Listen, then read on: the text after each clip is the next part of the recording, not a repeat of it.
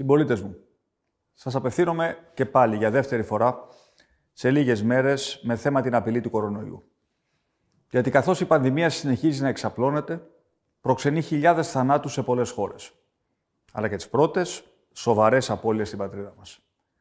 Σε τέτοιες στιγμές λοιπόν, που ο χρόνος μοιάζει να μην χωράει τα γεγονότα, επιλέγω να επικοινωνούμε πιο συχνά και να σας ενημερώνω προσωπικά για τα νέα δεδομένα, τις αποφάσεις που παίρνουμε και τα σχέδια που χαράσουμε. Μιλώντας πάντοτε τη γλώσσα της αλήθειας και με σταθερό οδηγό τις συμβουλές των ειδικών. Είμαστε σε πόλεμο με έναν εχθρό που είναι αόρατος, αλλά δεν είναι ανίκητος.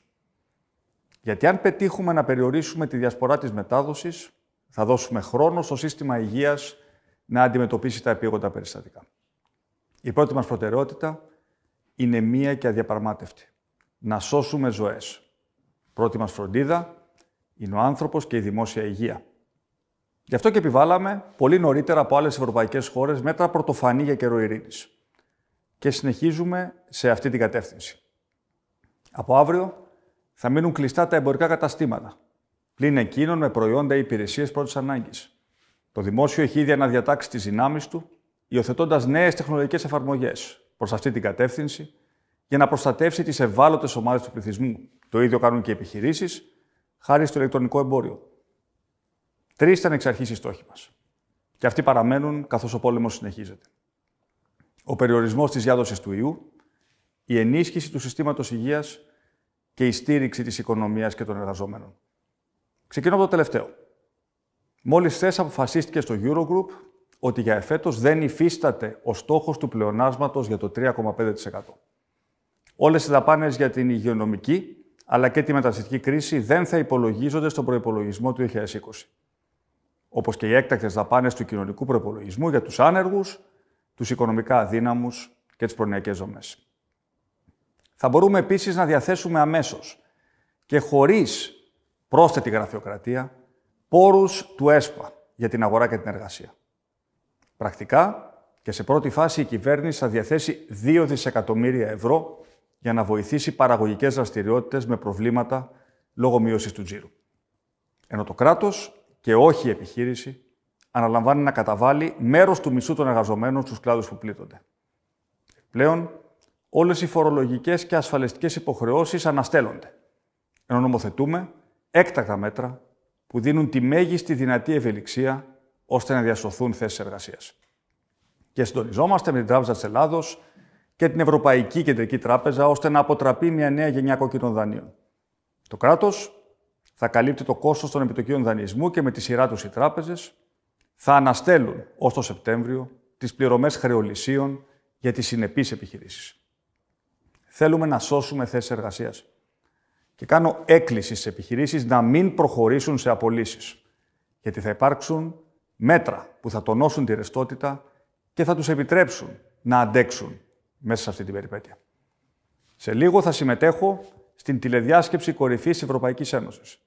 Με στόχο να διευρύνω τα περιθώρια δράσης της κυβέρνησης, αλλά και να μεταφέρω το μήνυμα ότι αυτή την κρίση πρέπει να την περάσουμε ενωμένοι και με το κόστος μοιρασμένο δίκαιο στην κοινωνία, στο δημόσιο και στον ιδιωτικό τομέα, αλλά και με την έμπρακτη στήριξη της ίδιας της Ευρώπης.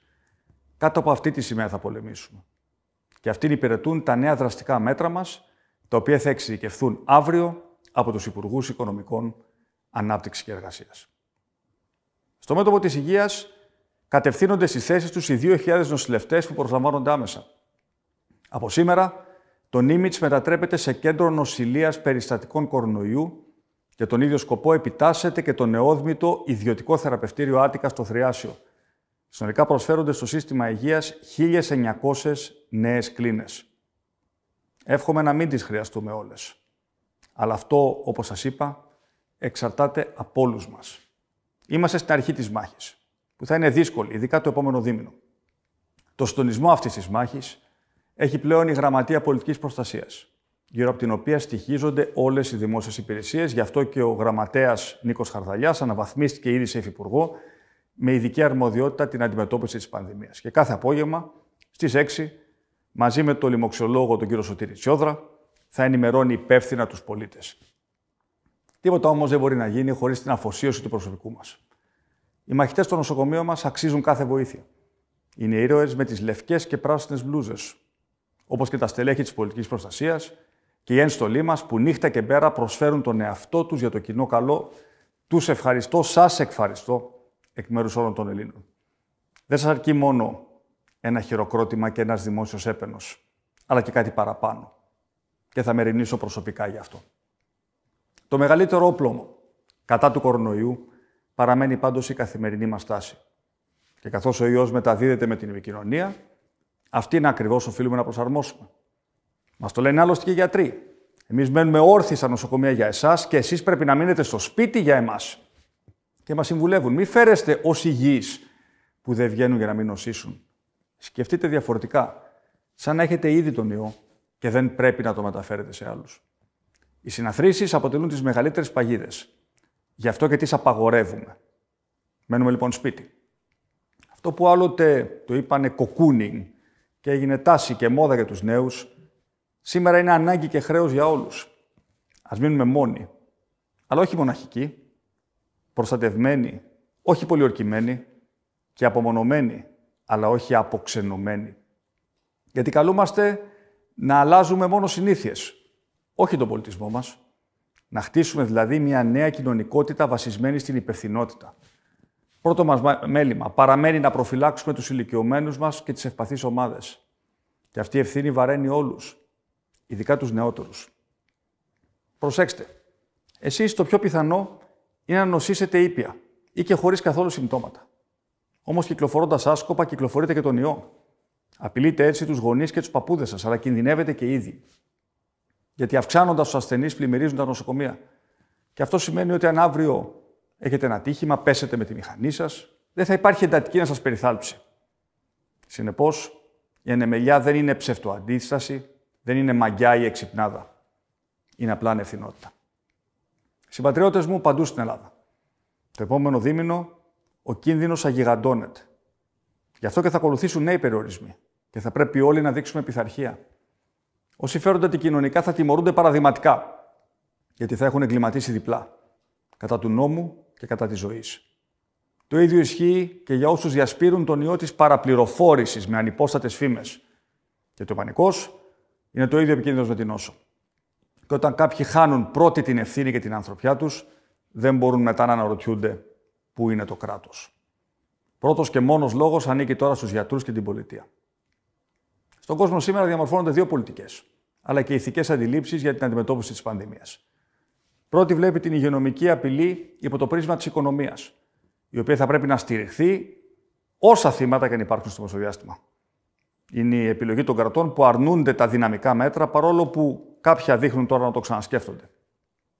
Δεν πάβουν όμως να αντιμετωπίζουν τους ανθρώπους ως αριθμούς, που θα επιβιώσουν με το χρόνο και τη λεγόμενη ανοσία της αγέλης. Η δεύτερη αντίληψη θέτει ως προτεραιότητα την υγεία των κοινωνιών, ανεξάρτητα από το κόστος που θα απαιτηθεί. Να γνωρίζει ότι η επόμενη μέρα θα είναι δύσκολη, ίσως και φιαλτική. Όλοι άλλωστε μιλούν για συνθήκες πολέμου. Συνεπώς και η οικονομία οφείλει να είναι οικονομία πολέμου. Αυτό που βιώνουμε δεν είναι 15 μέρες χαλαρών διακοπών, που μόλις τελειώσουν θα επιστρέψουμε όλοι στο πριν σαν να μην συνέβη τίποτα. Η θέση λοιπόν αυτή συνεπάγεται πολλά και δραστικά μέτρα. Υπολογίζεις στην πειθαρχία των πολιτών ώστε να περιοριστεί η πανδημία που θα έχει θύματα. Όμως, όσα ερήπια και αν υπάρξουν, θέλει τους περισσότερους ανθρώπους υγιείς για να τα ξαναχτίσουν. Και αυτή ακριβώς είναι και η δική μου επιλογή.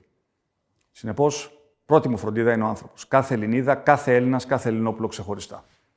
Για τη ζωή και την υγεία τους θα αναλάβω κάθε κόστος. Συμπολίτες μου, η κυβέρνηση μένει όρθια στο καθήκον της. Όμως πιστέψτε με, η νίκη θα έλθει μόνο αν όλοι, καθένας ξεχωριστά, φανούμε πειθαρχημένοι στρατιώτες σε αυτόν τον πόλεμο της ζωής. Γιατί ο εχθρός είναι αόρατος και ύπουλος. Μείνετε λοιπόν ασφαλείς, μείνετε σπίτι. Η επιστήμη δουλεύει σκληρά και τελικά θα ανακαλύψει το αντίδοτο στην πανδημία. Από αυτήν δεν θα βγούμε αλόβητοι.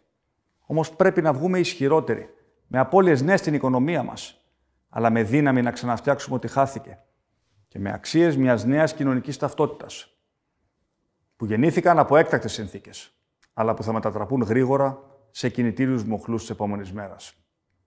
Πάνω απ' όλα όμως, Αυτή η περιπέτεια μας καλεί να αναδείξουμε την ατομική μας ευθύνη, τη γενναιότητα και το συλλογικό μας θένος, αλλά και το φιλότιμό μας, το οποίο συχνά επικαλούμαστε. Αλλά τώρα ήρθε καιρός να το κάνουμε χειροπιαστή καθημερινότητα. Με αυτά τα εφόδια, ενωμένοι και συσπηρωμένοι, θα τα καταφέρουμε. Οι Έλληνες θα βγούμε και πάλι νικητές.